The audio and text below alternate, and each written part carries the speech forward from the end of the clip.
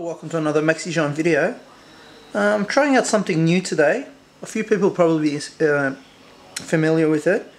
There you have just your regular type of thermal paste because I'm putting together my EK Supreme high flow water block. Everyone's used to this. Your basic paste and you squeeze it out to the CPU and all the rest. But today, I'm trying out something totally different. It's called Indigo Xtreme. You will actually be surprised for those who haven't really seen this before. Probably the priciest option when it comes to uh, heat transfer application of um, whatever type. Let's go ahead and see what's in the box. Now, they've taken this really seriously. Get your gloves there to keep greases and all that type of stuff away. And open this up. Now, before I tell you the price, I'm going to show you what it is get your cleaning cloth there or your drying cloth and you get your um, that's your cleaning solvents. It's a wipe. So you've got two applications. You've also got two applications of this. That's one. And pull the other one away which is still in the packet. That's it there. It's basically just a sticker which you stick onto the CPU you line the blue part up. And you set that on the motherboard. Then you peel it away. All you're left with is um, the, basically the the heat transfer stuff itself. Now, there's no applying, you just put it on. There's no um, worries about grease or anything like that. And apparently this has 2 to 3 degrees better performance than the best thermal compound on the market. So here we have uh, the CPU installed there. We're going to take the solvent wipe. Just open that up. These are the gloves that are supplied with it. Just ensure that we remain um, grease free. Kind of smells like a KFC wipe there. A bit more stronger though. it smells like thinners a bit. You could get high on this stuff, so you got to be careful. So now we'll just focus on to where we're working on the CPU. We'll just um, give that a good clean.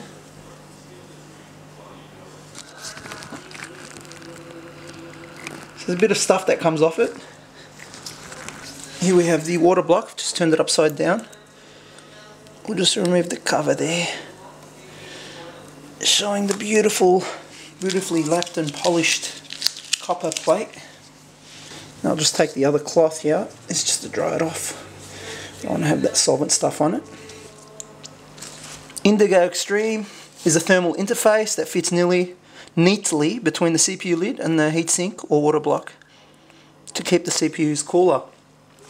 Alright, it says here, unlike greases, metallic thermal interface pads, or liquid metal alloys, is a self-contained and sealed structure deploying a phase change metallic alloy which reflows and fills the surface defects on the CPU lid and heatsink. The resultant interfacial layer is void-free and robust with low thermal contact and bulk resistance. Really, really cool stuff. Anyway, page two. Still got my gloves on. You can see there the instructions. So just, if we can just get out of the light, you can see there the sticker which goes on to the um, motherboard there, showing the CPU socket.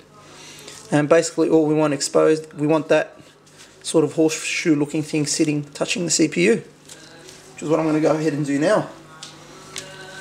So basically now, just as I showed you guys, we want to sit that carefully onto, so it's covering. Oh, I've played it there. It gives you a little blue guideline. It looks a bit tricky. There's a little blue guideline that's the size of the CPU exactly, so you can just line that up. And it says ensure that the blue part is touching the the cover the CPU bracket closes over it.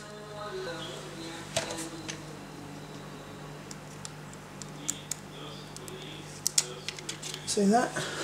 As part of installation, the Indigo Xtreme ETI must first be heated with the CPU running under load in order to reflow and melt the PCMA, which is the stuff that flows into all the little gaps and uh, imperfections in both the uh, water block and CPU. Now I couldn't really record this process because I was pretty nervous. Um, They're only $12 each, but you only get two in a packet and you can't, you know, reorder the stuff or pick it up every time. So you want to get it right first shot. And this is a specialty item. I suppose if you're spending a lot on your system, you don't mind doing things like this, but putting it on, I was like trying to push the heatsink on straight, holding it with two hands so it touches at the same time, then putting the the screws on at the same time and the springs and luckily um, I didn't have to remove the motherboard because I still got the, the old EK fittings which are the same. Pretty much give it a shot straight away. You can see they're straight away sucking all the water out look at that. Everything seems to be running fine now just focusing on the G19 you can see my little CPU usage indicator maxed out on 100% you check it out 100% you can't even see the line it's maxed out to the top so basically peaking on every single um, thread. Let's close this up. is still busy at work. Check that out, 12 threads, maxed out 100%. Alright, and that's how many CPU burn-ins I had to run at the same time to get it to 100%. It's getting more and more every time. You can see the CPU running at 40 degrees, don't forget 100% usage, 40 degrees Celsius, and that's overclocked to 4 gigahertz. 1.27 voltage, and you can see the cores on the right there, six of them. Um, one at 35, one at 57. I'm not sure about the variation. I've been asking a lot in the forum. No one's gotten back to me about what each core should be running out.